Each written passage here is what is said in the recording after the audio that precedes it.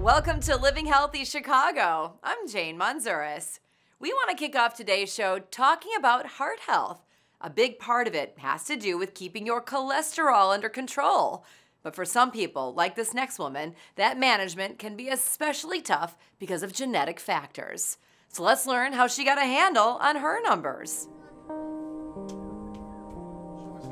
Watching Patty Niwa play with her grandkids, you wouldn't realize that her journey to health has been a long one. You want a color too? You want pink? It all began in her early 20s. I was told that I had these really high numbers my LDL levels, my cholesterol. The numbers didn't go down. Her doctors put her on medication, but over the years, weren't seeing results. Eventually, things became more serious. At the age of 47, um, I had my first cardiac event and was told that I needed a bypass. And so those things were extremely frightening and caused a lot of stress for me. Further investigation by her doctors led to a diagnosis of a genetic issue.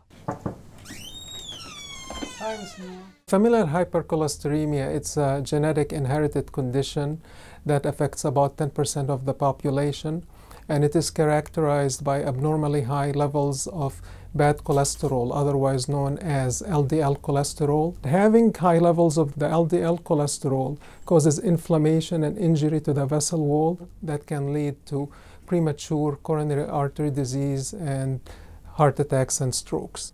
This type of familial hypercholesteremia or high cholesterol, unlike the traditional uh, high cholesterol does not respond with dietary changes or modification. So Patty's medical team suggested another approach. Hello, can I come in? At that point, I was evaluated for the apheresis, seeing if it would be something that ultimately could work for me.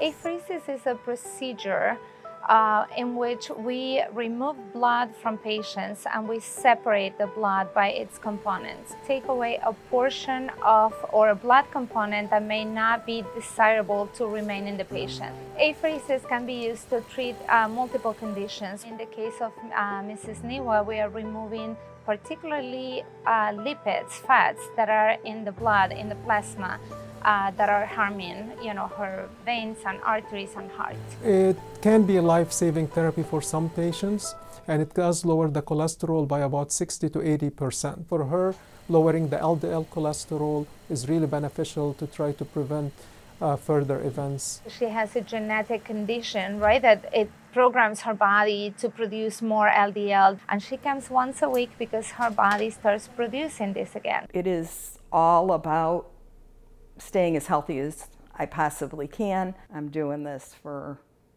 not only myself, my health, but also with my family in mind.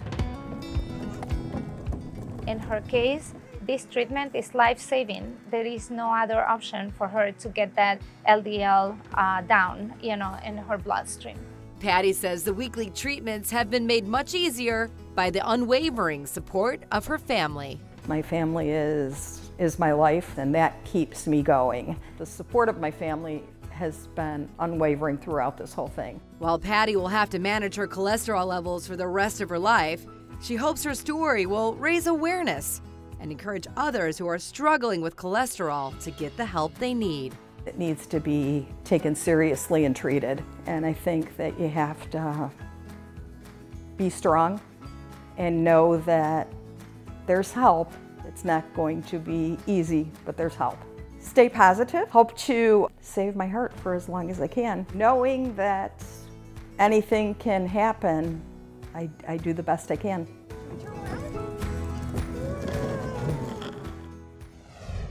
Do you want more living healthy content? Well, check out these videos right here and then subscribe for more right here.